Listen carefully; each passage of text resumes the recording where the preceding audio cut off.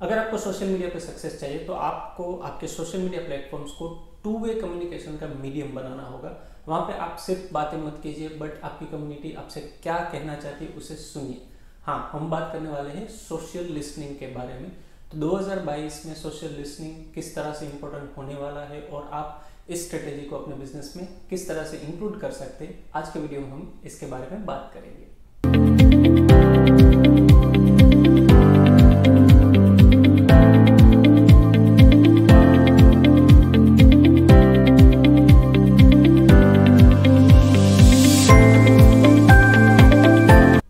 तो ये सबसे पहले जान लेते हैं कि सोशल लिसनिंग क्या है। सोशल मीडिया प्लेटफॉर्म्स के ऊपर जहाँ पे भी आपकी ब्रांड का मेंशन हो रहा है या कहीं पे उसके अराउंड कोई कन्वर्सेशन चल रहा है तो उसे ट्रैक करना, उसे एनालाइज करना और उसमें से एक अपॉर्चुनिटी ढूंढना कि जिससे आप अपनी ब्रांड का मार्केटिंग कर सके, इस पूरी प्रोसेस को सोशल लिसनिंग बोला जाता है। ऑब्वियसली आज का एरा जो है वो सोशल मीडिया का है, इसलिए सोशल लिसनिंग बहुत इंपॉर्टेंट है। तो शायद आप नेक्स्ट ये जानना चाहते होंगे कि सोशल लिसनिंग में किस चीज़ का ध्यान रखा जाए। तो इसके लिए मैं आपको चार ऐसे पॉइंट्स के बारे में बताऊँगा जिसे आप अपनी सोशल लिसनिंग स्ट्रेटेजी में इंक्लूड कर सकते हैं।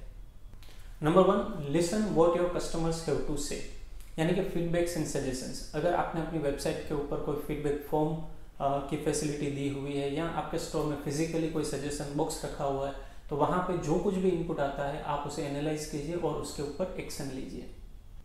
Number two listen where they are saying यहाँ पे आपको चार चीज़ों के ऊपर ध्यान देना होगा reviews comments DMs and email के रिप्लाई अगर आप कोई ई कॉमर्स प्लेटफॉर्म में आपकी प्रोडक्ट वहाँ से सेल कर रहे हैं और आपने प्रोडक्ट रिव्यूज़ का फैसिलिटी दिया हुआ है तो आप उसे सीरियसली कंसिडर कीजिए कि जो भी यूज़र है, वो वहाँ पे क्या रिव्यू दे रहा है, क्या उनको प्रोडक्ट अच्छा लग रहा है, क्या वहाँ पे कोई सजेशन है जिससे आप अपनी प्रोडक्ट या सर्विस को बेहतर बना सकते हैं. डीएम के रिप्लाइज ईमेल के रिप्लाइज इन सभी चीज़ों को आपको लिसनिंग के फॉर्मेट से यूज़ करना चाहिए और उसके ऊपर एक्शन लेना चाहिए।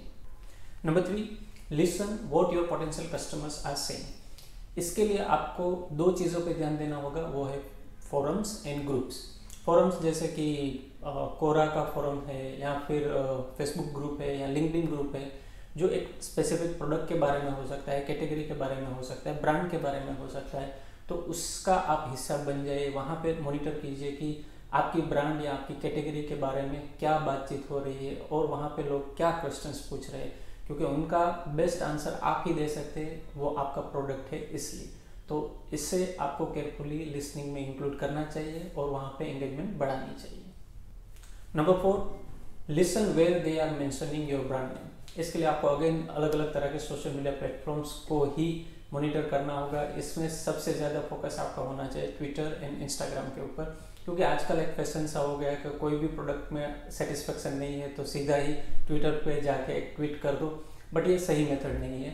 एज ए कस्टमर मैं आपको सजेस्ट करूँगा कि पहले आप अपने जो प्रोवाइडर है सर्विस प्रोवाइडर या प्रोडक्ट प्रोवाइडर उनसे बात कीजिए। अगर उनसे रिजोल्व नहीं हो रहा है, वो लोग सुन नहीं रहे, तब जाके आप उसे सोशल मीडिया पे ले जाइए। और अगर आप मार्केटर है मैन्युफैक्चरर है तो मेरी एडवाइस यही रहेगी कि वहाँ पे ट्विटर या इंस्टाग्राम के ऊपर अगर कोई रिव्यू आता है, अगर कोई ट्वीट आता है जिसमें आपको मेंशन किया गया है तो उसको एक within short time period उसे अटेंड कीजिए, उसे आंसर कीजिए। इस तरह से आप अपनी परसेप्शन को एनहांस कर पाएँगे। तो ये चार चीज़ें तो समझ में आ गई बट आपको और एक चीज़ याद रखनी होगी, और वो ये है कि लिसनिंग लीड्स टू रिप्लाइंग अगर आप लिसनिंग स्टार्ट कर रहे हैं तो आपको रिप्लाइंग की स्ट्रेटेजी भी बनानी होगी, क्योंकि अल्टीमेटली आप उनसे कनेक्ट करना चाहते हैं। कोई आपकी ब्रांड के बारे में मेंशन कर रहा है प्रोडक्ट कैटेगरी के बारे में मेंशन कर रहा है तो वहाँ से आप एक अपॉर्चुनिटी ढूंढ के उससे कनेक्ट करना चाहते हैं और ये तभी पॉसिबल होगा जब आप उन्हें रिप्लाई करेंगे। और एक, इसका दूसरा बेनिफिट ये भी है कि जब भी कोई ब्रांड बिज़नेस या पर्सन छोटी से छोटी बात का रिप्लाई करते हैं तो उनका बहुत अच्छा इम्पैक्ट बाकी कम्युनिटी मेंबर्स के ऊपर पड़ता है। तो ये आपको अगेन परसेप्शन एनहांस करने में भी हेल्प करेगा। हो सकता है कि आपने पास्ट में कभी किसी ब्रांड या बिज़नेस को कोई मैसेज किया हो अच्छा फीडबैक दिया हो, या हो सकता है आपने कोई सजेशन दिया हो बट उसके ऊपर कभी भी आपको रिप्लाई नहीं मिला हो। मेरे नज़रिए से देखा जाए तो ये एक, जो ईट और रीति की जो दीवार होती है, उससे बात करने जैसा है और कुछ नहीं। क्योंकि अगर आप सुन नहीं रहे रिप्लाई नहीं कर रहे तो आप अपनी कम्युनिटी से कहीं पे भी कनेक्ट नहीं कर रहे और अगर आप नहीं सुन रहे तो हमेशा याद रखिए कि आपका कोई कंपटीटर है, वो हमेशा हाजिर होगा आपके पोटेंशियल कस्टमर को सुनने के लिए रिप्लाई करने के लिए।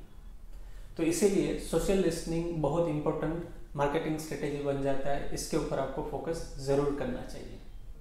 इस तरह के interesting information about social media marketing and Instagram marketing इस वाले प्लेलिस्ट के अंदर है तो इसे देखना मत भूलिए। और सोशल लिसनिंग को आज से ही अपनी स्ट्रेटेजी का एक हिस्सा बना लीजिए।